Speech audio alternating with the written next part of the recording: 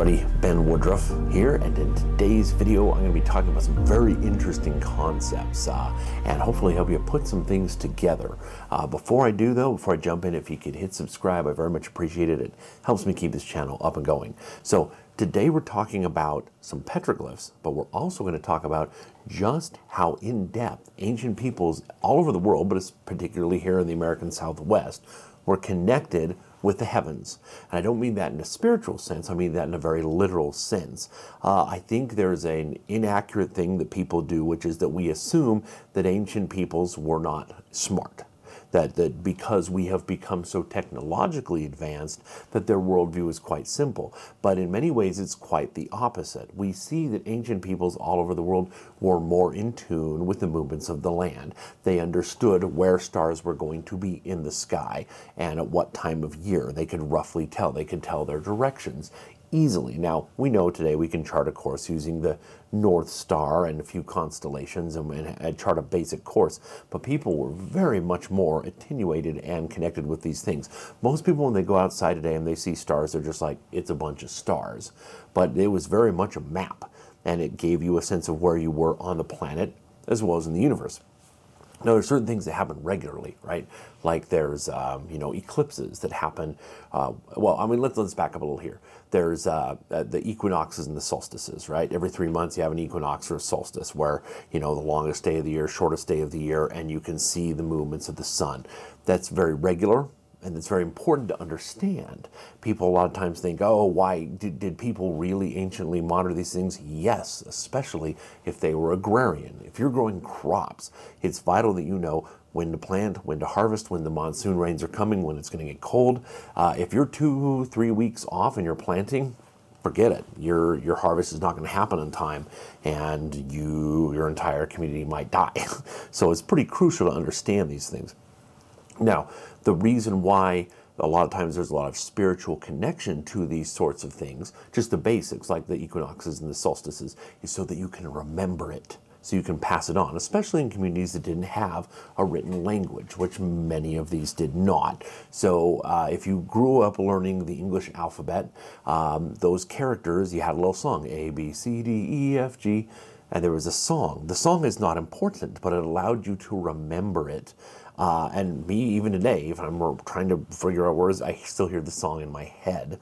Uh, the letters are what are important, the characters, not the song. But the song helps you remember. Attaching spiritual stories and mythologies and beliefs to some of these things and having deities, uh, figures that are personifications of ideas, like you know having a deity figure that is represents the rains. Uh, oh, it's the rain god. Well, it, it's representing okay, you got to do this, this, this this time to appease the rain god. Well, it's it's about timing things so that you can plant and harvest at correct times. So it's much easier to remember by attaching mythology and spirituality to it.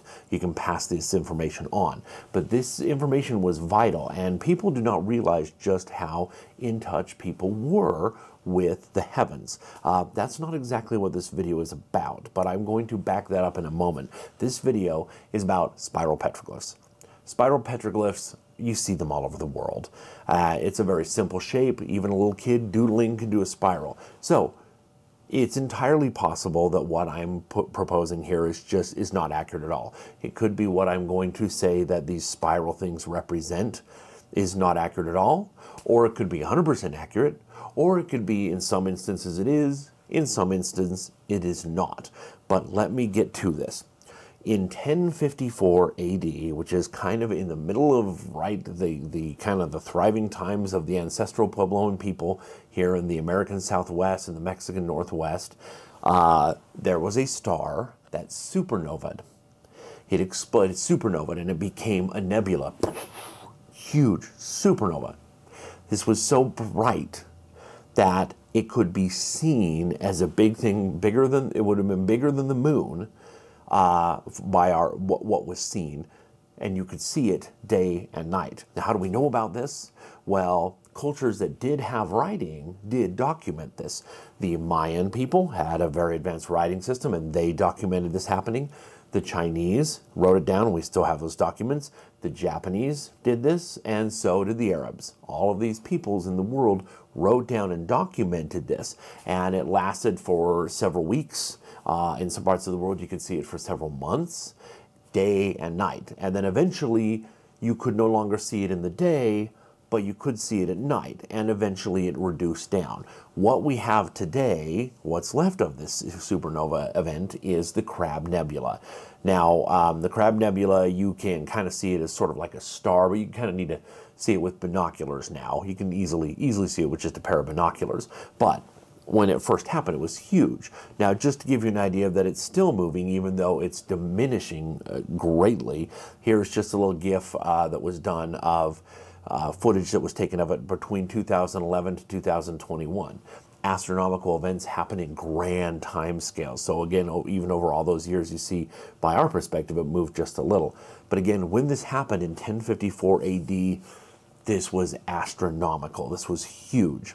Now, the peoples here in the New World, we know for a fact that they had a great understanding and a great reverence for that. Uh, now, there's the regular events, regular solar and lunar events, right? You have the cycles of the moon, and you have the cycles of the sun, the equinoxes and the solstices. Then within that, you have on a broader range, if you keep track and measure time, you have uh, solar eclipses and lunar eclipses. We know those were tracked for sure, uh, verifiably by the Maya people. But you also have Venus. Venus has very interesting transits and it, it dances and goes forward and backward in very strange ways in the heavens. We know from very specific observatories that the Mayan people absolutely did chart and track the, the, the course of Venus. But we also know that there's much broader things as well. Uh, for example, um, there's the lunar events that happen about every 18 years. Um, so it's called a lunar standstill. So basically, there's a point where the axis of the Earth and the axis of the Moon line up, and for a short period, about every 18.6 years, then the moon will be in the same spot every day instead of because it's always moving and then it goes back. It's, it's going opposite of the way the Earth rotates by our viewpoint. And when it does that, you might not notice if you just see it out there. But ancient ancestral Puebloan people did. They saw this, they recognized it, they understood it, and they documented it. Now, we don't have their writings, but we do know, for example, there is a Chacoan great house in Colorado at a place called Chimney Rock. And this is a very odd site because this is up on a very steep ridge and if you see it, it's like, okay, this is a really commanding view, but this is a terrible place to live. You got to haul your water up thousands of feet from down below and you had to, to build this. It's like, why do this? There's a lot of reasons why, and I will uh, address this site more specifically later. But there's these two rock formations that give it the name Chimney Rock.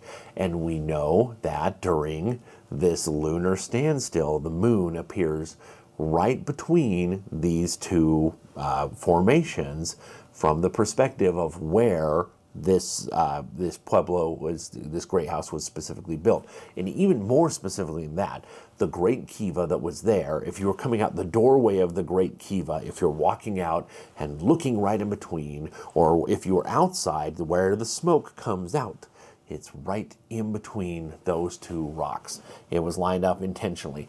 Now again, I'm not getting too much into this, but we know from this site that there was very advanced uh, align alignment done as well with many other solar and lunar events. Uh, but again, if you're doing something every 18.6 years, there's a lot of understanding that goes into there. Um, and uh, we see this in other places as well.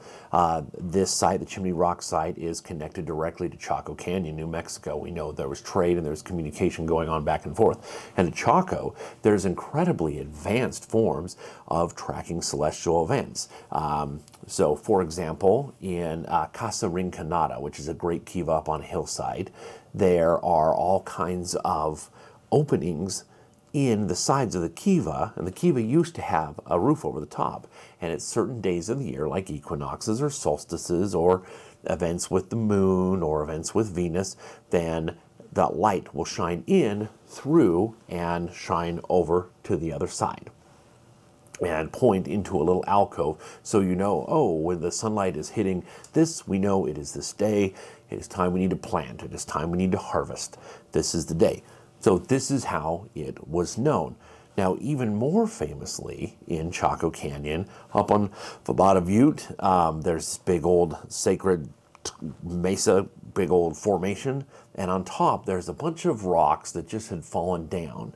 And the people found that uh, at a certain time of year, the light would shine through. On the equinoxes and the solstices, the light would shine through in very specific ways. So they chiseled a petroglyph in the shape of a spiral. And at one time a year uh, for the equinox, then they, they call it the sun dagger, and it will go right through the center of that spiral and on the solstices or the other side it'll then they'll have two sun daggers that go on either edge of that spiral so what this is very similar to is uh, if you ever see on Indiana Jones, Indiana Jones, the, the first one, when he goes into the Well of Souls and he has the staff piece of Ra and he's got the staff and the sun at a certain time of day and a certain time of year shines through and it will point onto a map, which is uh, actually it's really cool and it seems like just a bunch of hollywood nonsense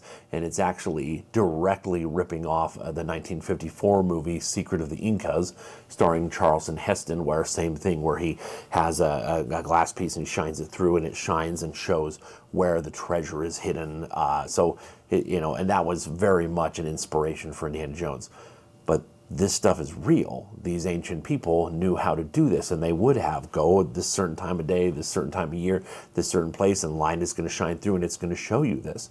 But this spiral in the center, why a spiral? Now, I want to go back again and say, we know that humans make spirals. Little kids do it. It's a very natural shape. It's just messing around. People can do that. But there are many people and there are many uh, descendants of these ancestral Puebloan people who have said that they believe that these spiral shapes are commemorating the Crab Nebula forming, that supernova.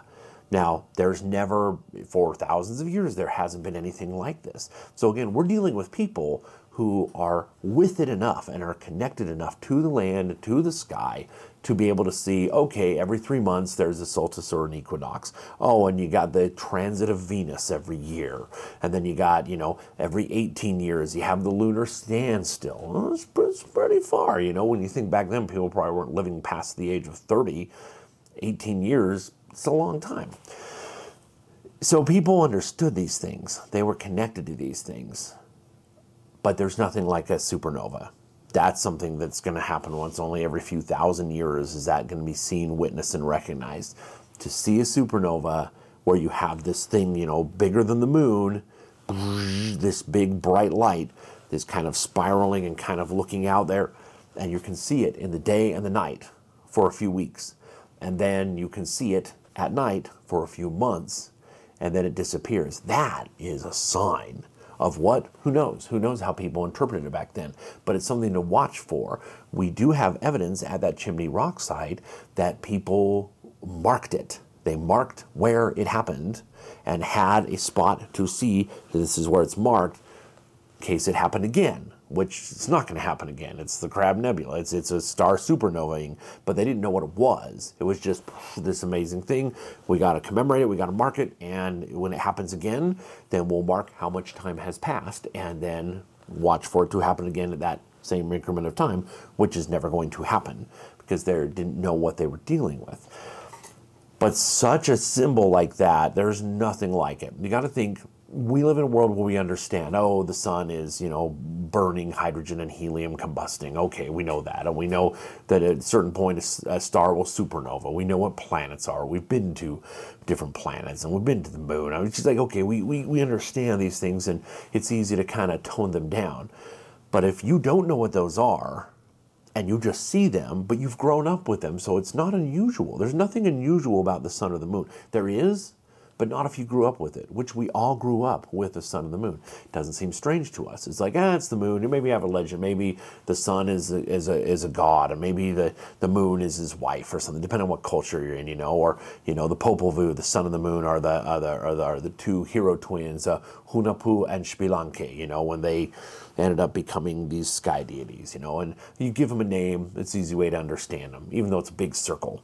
Okay, well, in that world, the sun, the moon, the stars, even though they didn't know exactly what they were, they were normal and they were discernible and predictable and had patterns that were recognizable.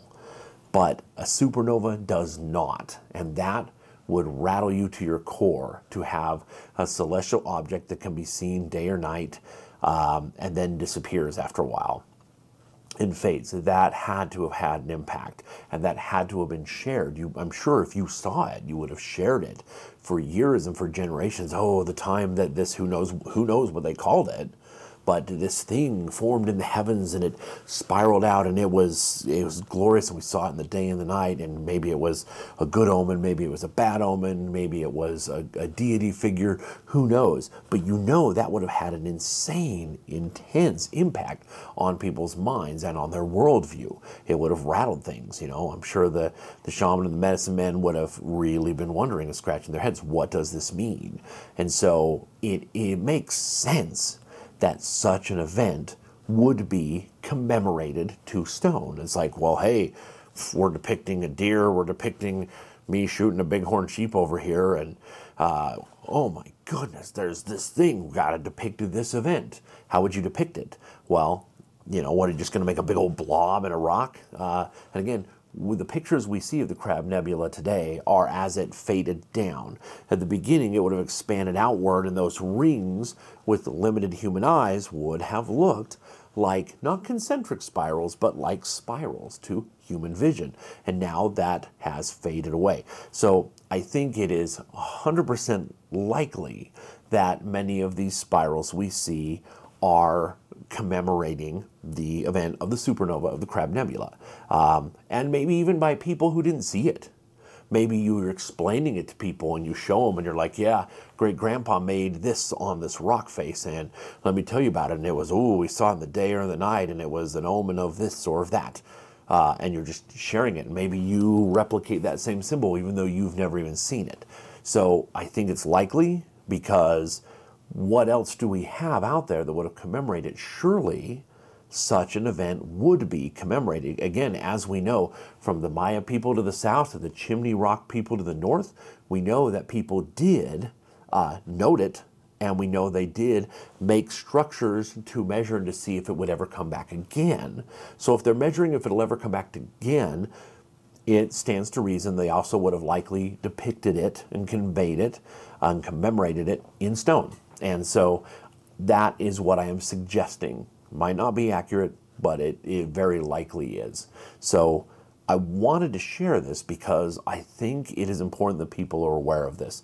Uh, that, that uh, it's good to understand how different the worldview was for these ancient people and also how advanced they were and how connected they were to their surroundings, both on Earth and in space, and how earth shattering and rattling it would have been to see a supernova and have that experience. Uh, and I think it trickles down even today. And I really do think that's what uh, many of these spiral petroglyphs are.